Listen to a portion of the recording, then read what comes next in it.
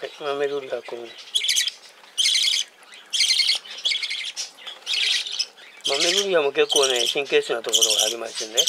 ヒナはあの最初に来た日は食べが悪いとかですねこそこそと逃げ隠れするのが多いんですけどこのヒナは結構素直なんですよ。食べ最初から食べますしねガンガン。もうこれで3回目ですけどね。これでちょっとね食べが悪いなと思ったらこうしておいて。まだ食べますか？どうしますか？もういいかな？あ積成君が来ましたね。はいもう積成君に変わりましょう。小桜までまた来ましたね。そうするとつられて豆をまた食べ始めました。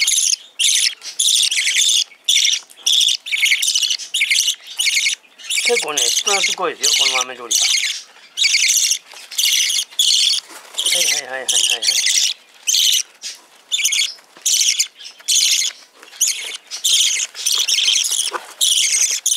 こんな風ですよ鹿児島の方。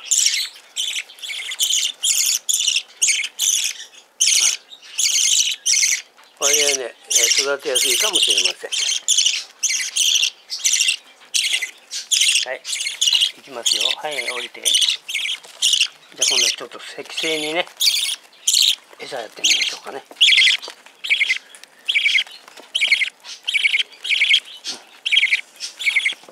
い。いくよ。はい、はい、どうぞ。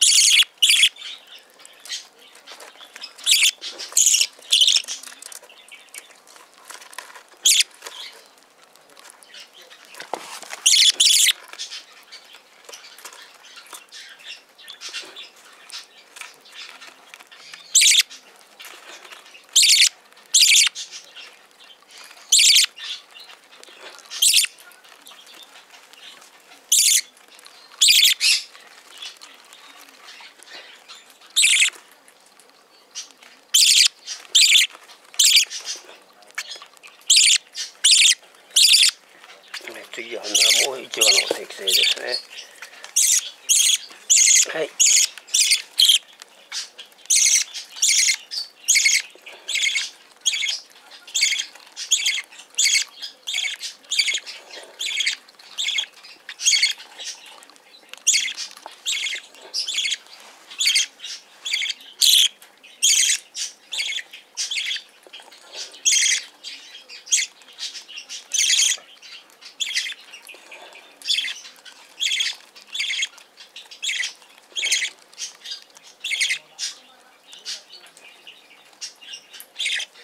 今日はここまでね。